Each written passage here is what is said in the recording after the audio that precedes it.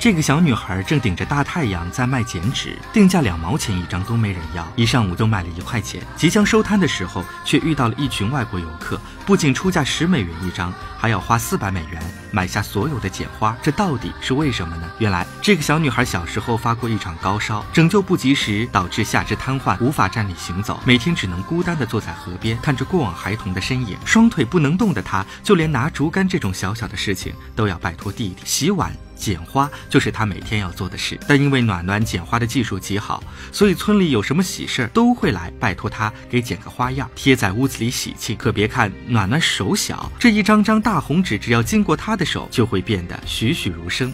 扭开白纸，只结娃娃；鲤鱼戏莲，惠子当年。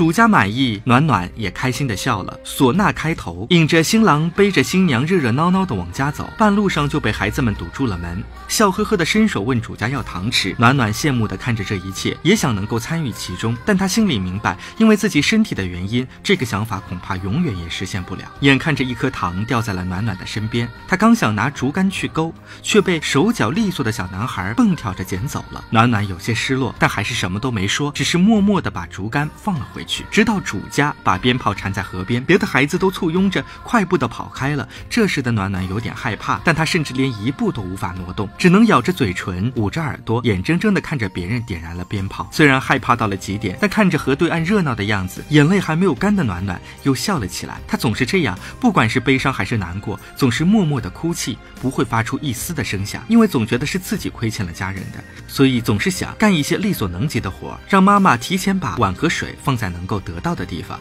然后刷得干干净净，摆放整齐。这天，村里的两个小孩自告奋勇地想帮他把碗筷端进去，暖暖阻止了，但无奈双脚动不了，只能听见屋里传来一阵噼里啪啦的声音，然后两个男孩就急忙跑了。果不其然，晚上回到家的父亲看到碎了一地的碗，开始训斥：“你说那小屁孩他能端好锅碗吗？你也让他们端。”暖暖只是愣了愣，并没有申辩。弟弟也走了出来：“爹，你把碗打，这样你用抬高。”其实暖暖一直都觉得，因为自己的腿连累了家人，所以爸爸和弟弟都不待见他，想道歉却不知道从何说起，只能尴尬又沉默的继续吃饭。第二天，妈妈准备去镇上买点东西。当暖暖再一次被抱到河边的时候，第一次提出了自己的要求：“妈，我想跟你去赶集，行不？”妈妈还没出声就被爸爸厉声制止了：“不行，集上那么多人。”你那腿好看呀！一句话伤的不仅仅是暖暖的心，更是狠狠地扎在了妈妈身上，拉起爸爸就训斥。但爸爸却不以为意，本来就是嘛，他腿那样了还想去赶集，最后还是在妈妈眼泪的攻势下才败下阵来。妈妈湿了个毛巾去给暖暖擦脸，想安慰她，告诉她爸爸其实不是那个意思，就是怕你在集市上热。暖暖一边流着泪，一边懂事地说：“我知道，怕就是怕我，怕我在集市上。”我在集市上热。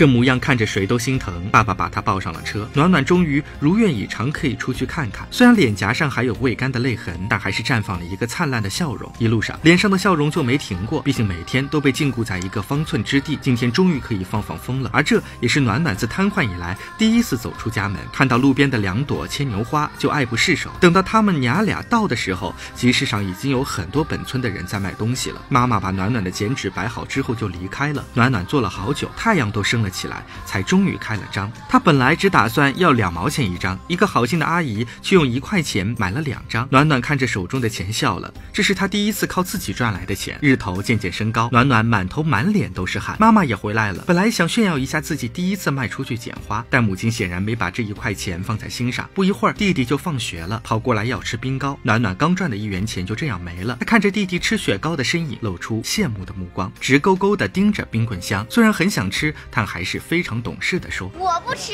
我坐着没动。”天真的太热了，妈妈也开始催促回家吧。暖暖却还想再等等，能不能有人再买几幅她的剪纸？这时，一群外国游客看到了，非常喜欢，张口就是一幅给十美元，一人要十幅。妈妈虽然有些不知所措，但还是急忙应了下来。同村的几个人也凑过来看热闹，但外国人却有些不相信这些剪花都是出自一个小女孩的手。暖暖当即给了一个男子剪了一张剪影，这下可好，外国人不仅要买剪纸。还要和暖暖合张影。在得知小女孩瘫痪站不起来之后，为了表达歉意，直接花了四百美元买下了所有的剪纸。这一下可发财了，在当时能够换一辆电动车了。送走外国人后，同乡人也开始纷纷议论：外国人真好骗，几张不止骗子就能值四百美元。人也走了，戏也散了。当他们都收拾东西准备回家时，暖暖望着那个雪糕摊位，终于说出了口：“，我想吃冰糕。”妈妈急忙跑过去，而暖暖全程就这样看着，眼眶里蓄满了眼泪。冰糕拿到手也一口没吃，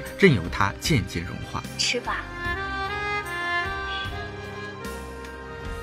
都是妈不好，妈好，是暖暖不好，暖暖连累爸。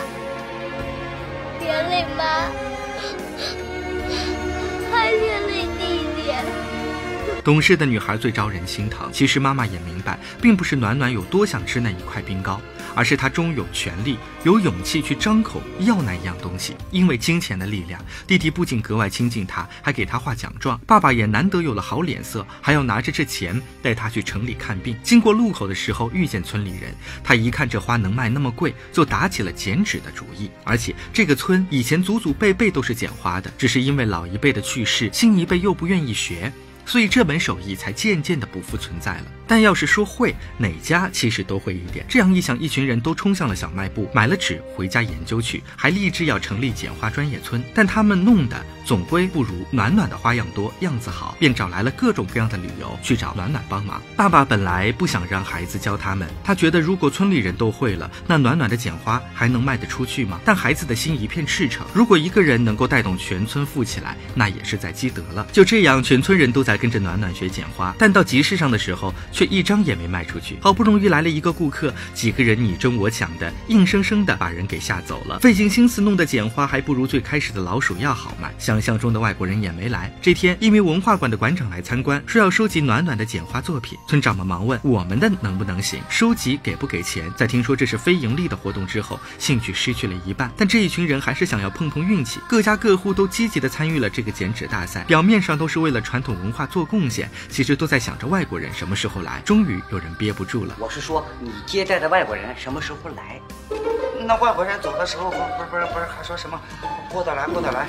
那不是还得来呀？馆长一脸蒙圈，是不是说？Goodbye, goodbye。村民们急忙点头，馆长狂笑不止。原来这是个大乌龙，外国人根本就没有打算要来。气急败坏的村民揉碎了手里的剪花，扔掉了所有的红纸，再也不剪了。这个村里又只剩下暖暖一个人在剪花了。主任这时又找到了一个朋友，想让他帮忙推销一下。小伙子同意了，当场给了五百的定金，但必须要有一个人来做担保。主任说要给担保，他还信不过，那就我们全村人给担保。紧接着就跑去给暖暖报喜去，全村都担保了。那有啥呀？只要剪花能卖着钱，叫咋担保咋担保。暖暖看着手里的钱，眼含着泪，一宿没睡的捡了一夜的剪花。弟弟和小伙伴大早上起来，满村的贴，整个村子都红彤彤的，好看极了。村民们都觉得过意不去。找到主任和他一起去暖暖家，看着女孩手上磨出的水泡，心疼极了，连忙问他还有没有什么没实现的心愿。暖暖欲言又止，一群人就这样看着他，鼓励他。我想上学。